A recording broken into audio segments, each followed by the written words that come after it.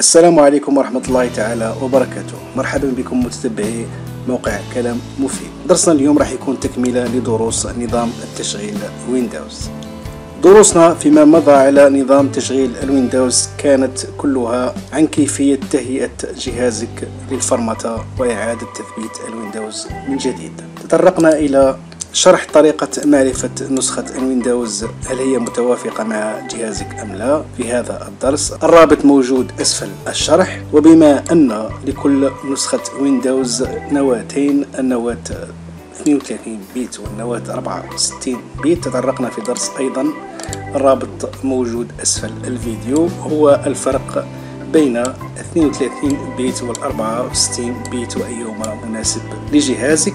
ثم في هذا الشرح تعرفنا على أداة لتحميل وتنزيل جميع النسخ الويندوز الأصلية إضافة إلى تنزيل أو تحميل ويندوز XP. إذا كما قلنا اليوم درسنا راح يكون تكملة لهذه السلسلة من الدروس. الآن بعد معرفة نسخة الويندوز المتوافقة مع جهازك ثم تعرفت على الفرق ما بين 32 bit و 64 bit ثم عن طريق هذه الأداة قمت بتنزيل النسخة المناسبة لجهازك.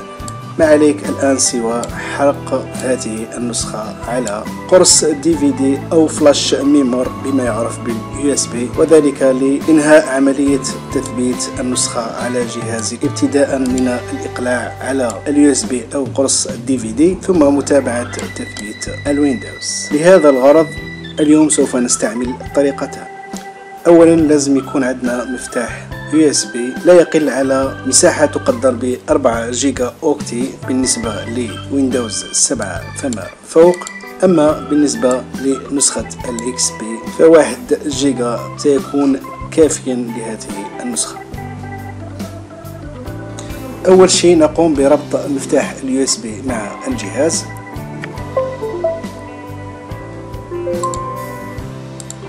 نلاحظ هنا قام الجهاز بالتعرف على مفتاح ال USB لكن ملاحظة بسيطة فقط في الكثير من المستخدمين رغم حرقهم للنسخة على مفتاح ال USB لا يستطيعون الإقلاع عليه من ال BIOS وذلك لعدة أسباب. نذكر منها السبب الذي من الممكن يكون هو السبب الرئيسي في هذا الخلل. إذا نذهب للمفتاح نقوم بالضغط على الزر الأيمن للفأرة ثم نذهب إلى Property أو الخصائص. نلاحظ هنا أن نظام الملفات على مفتاح ال USB هو NTFS أو نظام FAT بأنواعه لا يسبب أي إشكال للإقلاع من ال BIOS. لكن إذا كان نظام الإقلاع في جهازك هو النظام الجديد UEFI فلا يمكنك الإقلاع في حالة ما إذا كان نظام الأجهزة أو نظام الملفات على مفتاح ال USB لديك بهذه الصيغة NTFS لذا ما عليك سوى إعادة فرمتة ال USB على نظام الملفات FAT 32 أو FAT بأنواعه. ولمعرفة ما هو نظام الإقلاع لديك على الجهاز تابع هذا الدرس الذي شرحت فيه الفرق بين النظامين نظام بايوس أو بيوس أو النظام الجديد UEFI وهل جهازك يدعم النظام القديم؟ النظام الجديد. تابع هذا الدرس للتعرف على النظامين وما هي ميزات كل نظام ولمعرفة أي من النظامين مثبت على جهازك أو ما هي نوعية القطعة التي تدعم الإقلاع التي هي مثبتة على جهازك. تابع هذا الشرح. في حالة إذا ما كان جهازك يدعم النظام الجديد ما عليك سوى إعادة فرمطة مفتاح ال USB على نظام ملفات FAT 32 وذلك بالضغط على الزر الأيمن للفأرة ثم الذهاب إلى format ثم هنا نضع نظام الملفات فات 32 ثم نقوم بالفورمات.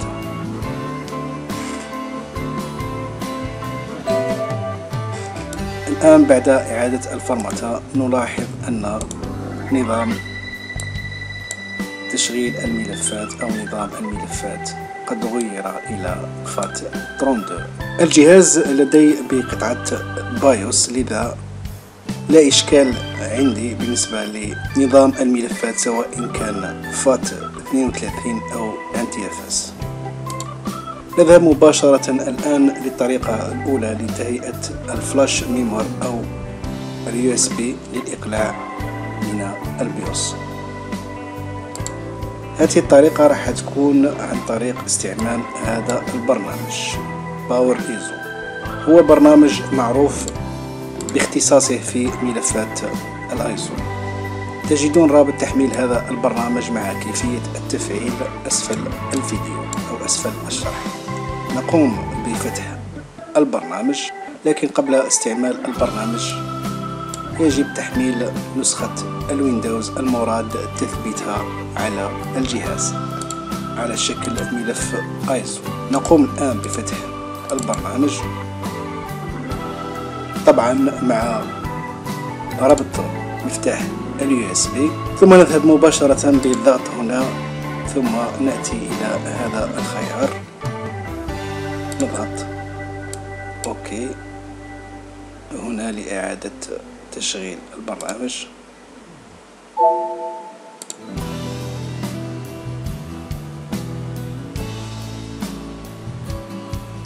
ثم اختار هنا ملف الآيزو الخاص بالنسخة. ثم نحدد هنا قطعة ال USB المراد تهيئتها للإقلاع. نترك هذا الخيار هنا ونضغط على démarrer هنا يطلب منك البرنامج مواصلة الحرق وذلك بإفراغ كل ما هو موجود على ال USB نضغط OK ثم ننتظر حتى اكتمال العملية.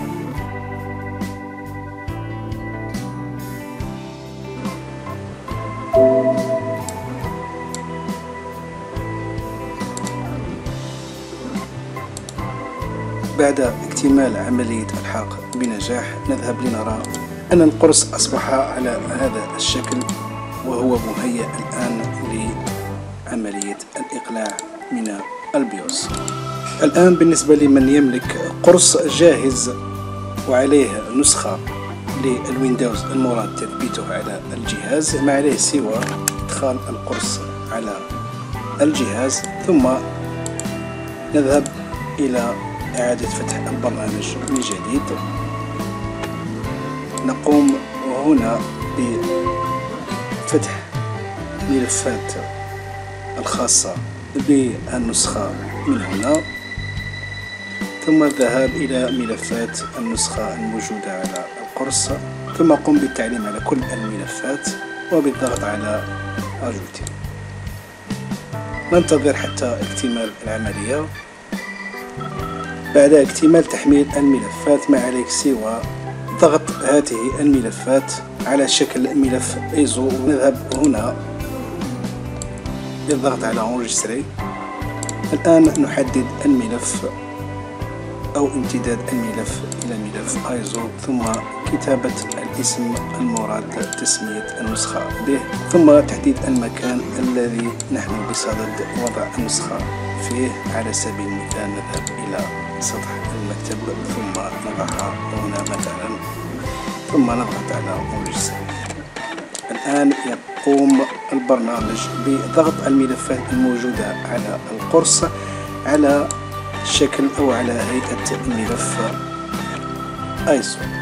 وذلك لاستعمال الطريقة الأولى في حرق ملف الأيسو على ال USB. ثم نمر الآن إلى الطريقة الثانية وهي راح تكون عن طريق استعمال هذه الأداة. رابط دائما موجود أسفل التدوينة أو الشرح. نقوم بتحميل الأداة الآن. نحدد مسار تحميل. مثلا نقوم بتحميلها على سطح المكتب. نلاحظ أن حجم الأداة صغير. بعد الانتهاء من تحميل الأداة نقوم بتثبيتها على الجهاز.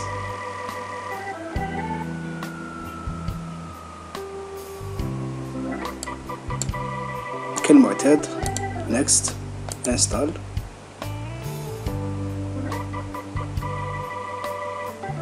الآن انتهى الجهاز من تثبيت البرنامج. نذهب الآن. هذا هو أو هذه هي أيقونة البرنامج. نقوم بفتح البرنامج. نلاحظ هنا أن البرنامج مطور من طرف شركة مايكروسوفت. الآن ما علينا سوى استدعاء الملف الآيزو الخاص بالنسخة. ثم الضغط على next. نلاحظ هنا أنه يوجد خيارين. الأول بإمكانك حرق هذه الملفات أو الملفات مضغوطة مباشرة على قرص DVD فارغ أو حرقها على مفتاح ال USB. بطبيعة الحال راح نقوم بحرق الملفات على المفتاح USB بالضغط هنا. ثم تحديد مفتاح ال USB المربوط بالجهاز. كما قلنا سابقا بالنسبة لنسخ الويندوز من النسخة سبعة فما فوق يجب أن يكون مفتاح ال USB لا يقل على 4 جيجا بايت. أما بالنسبة لنسخة ال XP فواحد جيجا بايت كافي لهذه النسخة. الآن نضغط على بداية النسخ. هنا يطلب منا البرنامج إفراغ محتوى USB. نضغط هنا نقوم بالموافقة. نلاحظ أن البرنامج يقوم بعملية الفرمطة للمفتاح ثم الآن هو يقوم بعملية النسخ. بعد اكتمال العملية طبعا نلاحظ أن مفتاح USB الآن مهيأ أو جاهز للإقلاع من ال BIOS الآن بعدما تحصلنا على مفتاح USB مهيأ للإقلاع عن طريق ال BIOS ما علينا سوى إعادة تشغيل الجهاز ثم الدخول مباشرة الإعدادات الخاصة بال BIOS للإقلاع على مفتاح ال USB. طريقة الدخول للإعدادات الخاصة بال BIOS تختلف من جهاز إلى آخر. نجد أن أغلب المفاتيح المستعملة لهذا الغرض هي مفتاح F2 أو F10 أو F11 أو F12 إضافة إلى الزر supprime أو Del أو أيا كان المسمى عند إقلاع الجهاز بإمكانكم التعرف على المفتاح المستعمل للدخول إلى ال BIOS لدينا هنا جهاز توشيبا. نقوم بربط مفتاح ال USB ثم نقوم بتشغيل الجهاز. مباشرة الضغط على الزر F2 نلاحظ هذه الواجهة عن طريق لوحة المفاتيح. نذهب مباشرة كما هو موضح في الصورة إلى ديمار.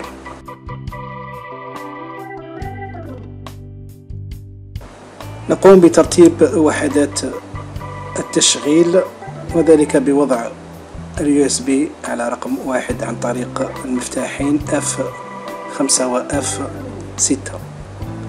نقوم بوضع ال USB على رقم واحد ثم نقوم بحفظ الإعدادات على طريق عن طريق الضغط على F عشرة. OK. كما نلاحظ أن الجهاز مر مباشرة إلى التثبيت.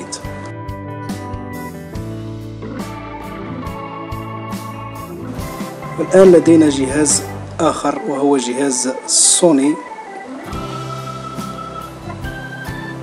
بهذه الأجهزة توجد زر للإقلاع مباشرة على ال USB.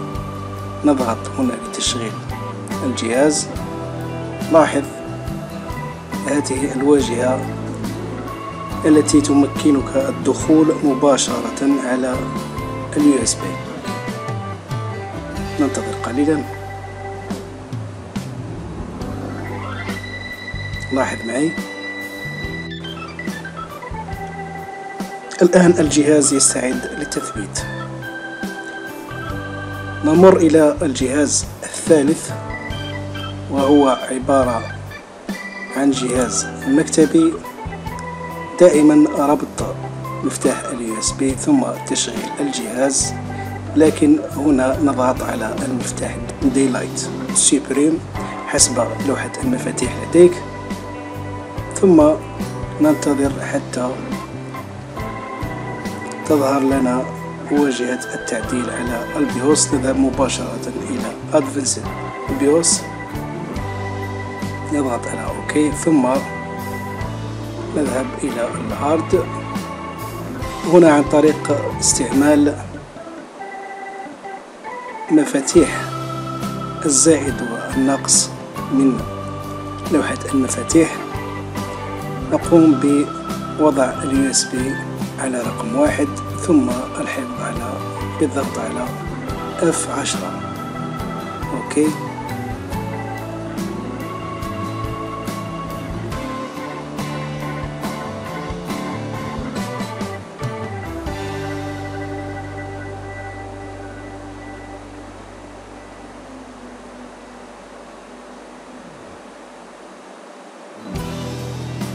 الآن نلاحظ أن الجهاز بدأ في تثبيت الويندوز. الخطوات الأخيرة التي ذكرناها في الشرح عن طريقة الإقلاع في مفتاح USB هي خاصة بمن لديهم أصلا مشكل في النظام أي بمعنى أن النظام لا يشتغل أساسا على الجهاز. أما بالنسبة لمن ليست لديه أي مشكلة على النظام فقط هو يريد تغيير النظام ما عليه سوى متابعة هذا الدرس البسيط عن طريق استعمال أداة صغيرة وسهلة الاستعمال ومن خلالها تستطيع الولوج مباشرة إلى مفتاح اليو أنا آسف جدا على الإطالة في الشرح. نرجو الإفادة للجميع. دمتم في رعاية الله وحفظه. إلى اللقاء في درس جديد من دروس موقع كلام مفيد.